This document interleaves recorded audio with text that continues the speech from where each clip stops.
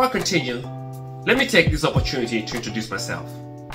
My name is John Odhiambo, and this channel is all about having fun with design and manufacturing.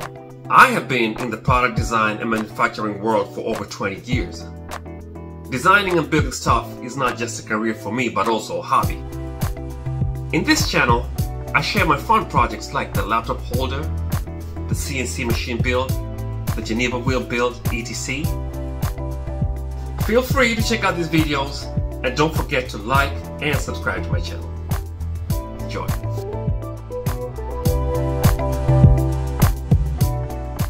I wanted to get into the e-scooter world mainly because they have taken over the world. Being that I'm already in the design and manufacturing space, both as a service provider and as an educator, this is the perfect opportunity to design and build one. This build will also be used as a challenge to my design and manufacturing trainees. The plan is to begin machining in the summer. For inspiration, I first looked online at the different e-scooters out there. I then settled on a plan and went ahead to develop the 3D CAD models. The plan is to buy a 16-inch wheel kit from Amazon or eBay. The kit should also contain the brake levers, throttle, and monitor.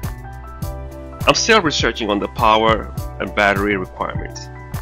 Any suggestions out there? The shocks and all other components will also be acquired prior to the build. The body components will be mainly machined out of aluminum.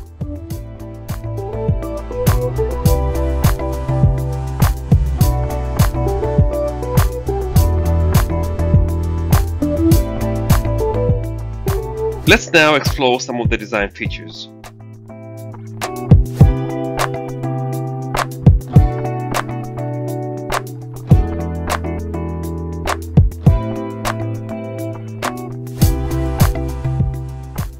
The handlebar will have a swiveling feature that will allow it to fold via a quick release pin.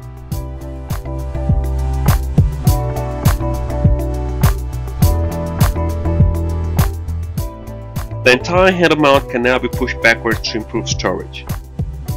A quick release mechanism is also used to lock and unlock this feature.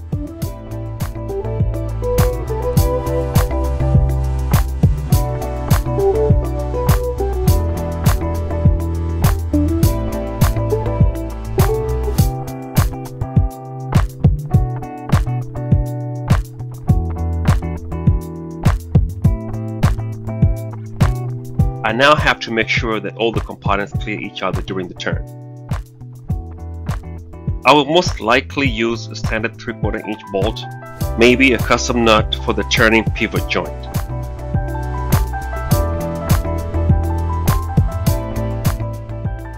The front wheel assembly shock limits have to be sufficient and also to make sure that the components have enough range of motion and can be physically assembled together as intended. I will first search for a completed kickstand. If I cannot obtain one online, I will then build it. The back wheel holder assembly components will be machined first and assembled together before adding their shocks and attaching the entire assembly to the main scooter body. Attention also has to be paid to the range of motion of the entire back wheel assembly.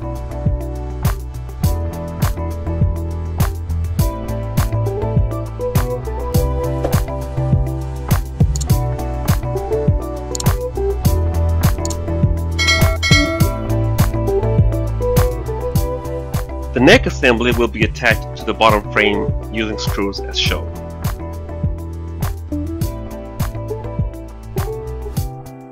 The scooter seat frame will be attached to the bottom frame as shown.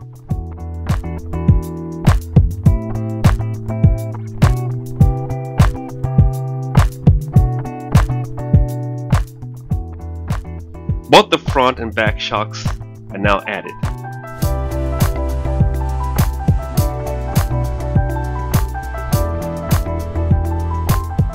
The scooter will be ready for a test ride once I add the brakes and the electronics.